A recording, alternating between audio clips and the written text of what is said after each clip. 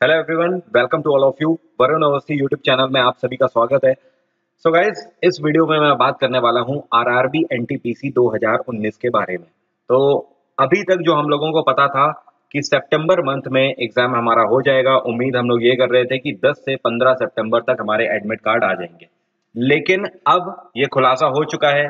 RRB ने ये hint भी दे दिया है, ये नोटिफिकेशन भी जारी कर दिया है कि अभी फ़िलहाल एग्ज़ाम नहीं होंगे। सितंबर से एग्ज़ाम्स को पोस्टपोन कर दिया गया है। अब सवाल यह है कि पहला, कि सितंबर से एग्ज़ाम को कहाँ पर पोस्टपोन किया गया है? सितंबर का मतलब पहली चीज़ तो कि अब सितंबर में एग्ज़ाम होना नहीं है। अब इसके बाद आपका एग्ज़ाम कहाँ पर होना है? अब ये एक्सपेक्टेड है आपका एग्ज़ाम अक्टूबर लास्ट में, या फिर दिवाली के जस्ट बाद मतलब नवंबर फ़र्स्ट से लेकर फिफ्टीन के बीच में, ठीक है? सो अल्टीमेटली अगर हम अक्टूबर लास्ट माने तो भी हमारे पास अभी 50 डेज़ का टाइम है। बच्चों, इस वीडियो में मैं आपको बताने वाला हूँ, इन 50 डेज़ में बिना कोचिंग के अब आप कैसे इस एग्ज़ाम को निकालोगे। अगर आप लोगों ने इस चीज़ को समझ लिया तो आप 100 परसेंट गारंटी के साथ सीबीटी फ़र्स्ट बहुत आराम से निकाल लोगे। ये मेरा चैलेंज है। ये मैं बिल्कुल आराम से बोल रहा हूँ 100 परसेंट गारंटी के साथ। लेकिन अब आपको करना क्या है, उसको ध्यान से सुनना है आपको इस वीडियो में। जो आपका सीबीटी वन है मतलब कि जो फ़ेज़ फ़र्स्ट का आपका एग्ज़ाम होगा आरआरबी एनटीपीसी का, उसका ये क्लोजर है। आपको 90 मिनट्स का टाइम मिलेगा और आपके तीन सब्जेक्ट उसमें पूछे जाएँगे। एक तो आपका जनरल अवेयरनेस पूछा जाएगा, दूसरा मैथ्स पूछा जाएगा और तीसरा रीजनिंग पूछा जाएगा। टोटल क्वेश्चन आपके क्या होंगे? 40 क्वेश्चन जीए के होंगे 30 मैथ्स के और 30 रीजनिंग के तो टोटल हो गए 100 क्वेश्चन। अगर देखा जाए तो 90 मिनट आपको मिल रहे हैं 100 क्वेश्चन करने के लिए। मतलब पहली चीज़ तो आपको यहाँ पर यह ध्यान रखना है कि 90 मिनट 100 क्वेश्चन के लिए मिल रहे हैं, आपके पास टाइम बहुत ज़्यादा सफिशियंट है। पहली चीज़, ओके? बैंक जैसे एग्ज़ाम्स में, जहाँ पर आपको सिर्फ़ और सिर्फ़ वन आवर मिलता है, साठ मिनट प्री में, और सौ क्वेश्चन देखने को मिलते हैं। तो उस एवज में अगर बात करें तो बहुत अच्छा टाइम आपको मिल रहा है। आराम से आप क्वेश्चन पेपर कर सकते हो। दूसरी बात, अब यहाँ पर अगर हम रीजनिंग की बात सबसे पहले करें तो रीजनिंग कोई भी ऐसा कैंडिडेट नहीं होगा जिसको नहीं आती हो। रीजनिंग सबको आती होगी बहुत आराम से। लेकिन हाँ रीजनिंग में आप लोगों के साथ भी ऐसा हो सकता है कि रीजनिंग में आपको दो से चार टॉपिक्स ना आते हो। लेकिन ऐसा नहीं हो सकता कि रीजनिंग आपको पूरी ही ना आती हो। रीजनिंग जो भी आपके दो से चार टॉपिक आपको नहीं आ रहे हैं, आप क्या करो, उसको एक जगह रीजनिंग लिखो और आपके वन टू थ्री फोर जितने भी टॉपिक्स हैं, उनको आप नोट कर लो। मैं मान लेता हूँ रीजनिंग में आपको मैक्सिमम पाँच टॉपिक क्लियर नहीं होंगे। हर एक टॉपिक को एक दिन एक एक घंटे बैठ के कवर कर लो। अगले पाँच दिन में आपका रीजनिंग का पूरा मैटर क्लोज हो जाएगा। रीजनिंग की यहाँ पर आपकी पूरी टेंशन खत्म। बिलीव मी रीजनिंग में यहाँ पर हर कोई स्कोर करेगा। तीस में से पच्चीस पच्चीस क्वेश्चन करके आएँगे सभी लोग। और आप भी करके आओगे बहुत आराम से। अब बात आती है मैथमेटिक्स में। मैथ में भी मैं आपकी यहाँ पर बात करना चाहता हूँ कि मैथ्स में अभी तक अगर आपने प्रिपरेशन नहीं करी हुई है, देखो, जिन लोगों की प्रिपरेशन है, उनके लिए तो कोई बात ही नहीं है, वो तो बिल्कुल तैयार है। लेकिन अगर अभी तक आपकी प्रिपरेशन नहीं है तो यहाँ पर अर्थमेटिक पर आपको ज़ोर देना है। 50 डेज़ में डेली आपको क्या करना है? थ्री आवर्स अपने मैथ्स के डिवाइड कर देने तीन घंटे आपको मैथ्स लगानी है सेल्फ स्टडी करनी है, इतना आप जान लो, ठीक है? आप कहीं पर भी पढ़ रहे हो या आप नहीं भी पढ़ रहे हो तो आप बुक उठाओ फॉर्मुलेज देखो और सिंपली उसको अप्लाई करना स्टार्ट करो।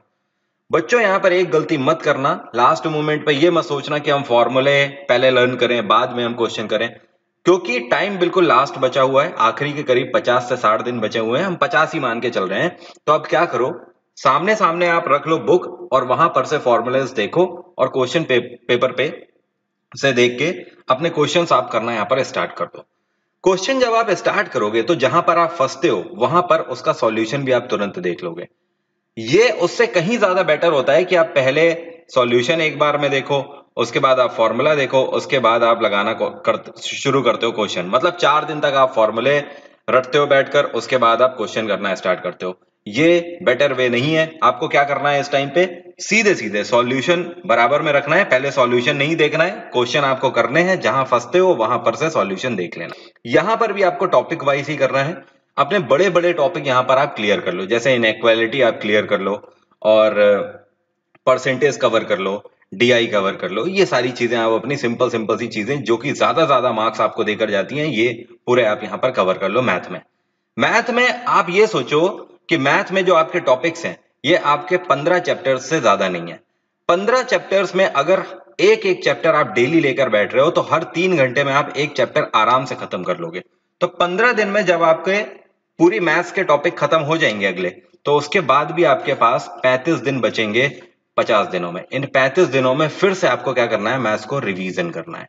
दूसरे तरीके के सवाल उसी टॉपिक से उठा के स्टार्ट करने हैं। लेकिन हाँ ये चीज़ नहीं करनी है कि एक बार आपने परसेंटेज उठाया, आज आपने परसेंटेज पूरा कर लिया, दस क्वेश्चन लगाए, उसके बाद आपने क्या किया, कल फिर से बीस क्वेश्चन उठा लिए। फिर डे आफ्टर टुमारो आपने फिफ्टी क्वेश्चन ले लिए। नहीं, ऐसे आपका केवल टाइम वेस्ट होगा। आपको एक बार पूरा सिलेबस करना ही करना है अगले पंद्रह दिन में। और उसके बाद इस सिलेबस को आपको रिवीजन करना है। ठीक है? तो इसका फ़ायदा आपको एग्ज़ाम में ये मिलता है कि एग्ज़ाम में आप जब पूरा क्वेश्चन पेपर गो थ्रू करते हो तो आपको एक टॉपिक से क्वेश्चन नहीं आता है तो एटलीस्ट आप दूसरे से कर लेते हो, तीसरे से कर लेते हो, ठीक है? अब बात आती है जीए की।